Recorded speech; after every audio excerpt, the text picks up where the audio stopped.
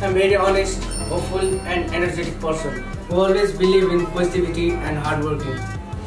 Good afternoon ladies and gentlemen and warm namaste to everyone. My name is Nawaraj Ghimire, contestant number 1 from Milestone International College. My hobbies are singing, dancing, traveling, playing football, cricket and other sports.